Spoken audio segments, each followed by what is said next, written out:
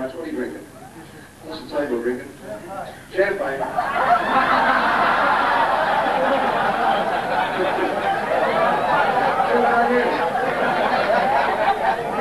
Mr. and Mrs. Hicks, little boy Dick. ah, seriously. Champagne for this table over here. Sergeant for this table over here. That's it. Actually, I've got a couple of anniversary calls that came up. They're a little bit late. It's uh, second anniversary for Bob and Jill Wardley, I think it is. Wardley. Bob and Jill, second anniversary, still practicing. right? And also at the same table, it's Neil and Julie Sampson who are celebrating their eighth anniversary. Is that right? Stand up, Ward Wardley. Let's have a look at. Give a nice round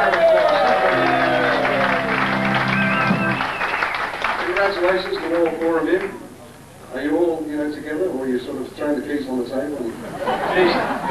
That was an hour ago. That's an hour ago. You mean you'd be back? You missed the first half of the show.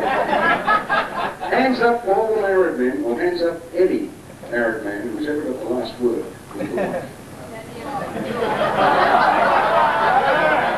Don't raise his arm, love. There's always one liar in the audience, right? And if he did get the last word, I know where it was. Next year. You can't win with the women, fellas. I'm telling you, I had a friend of mine who had the same problem. I said, what's the matter? He said, the bloody wife, she's always getting the last word. I said, what are you going to do about it? He said, tonight's the night. No, not for that. No, he meant tonight he was going to get the last word. So he staggered down, sat down in his little easy chair with his little stuffing in his hand. That's a And drink. fell on the floor. You've got a stuffing, have you? Someone's got that problem. Anyway, so he's sitting there, and the wife was doing the ironing. She pulled up a bra, and he said, I don't know what you're running that for, woman. He said, "You've got nothing to put in it anyway. She said, oh, your shorts, don't I? He said, yes, smart Alec. There's plenty of other fish in the sea. She said, well, go ahead. You get nothing with that little worm.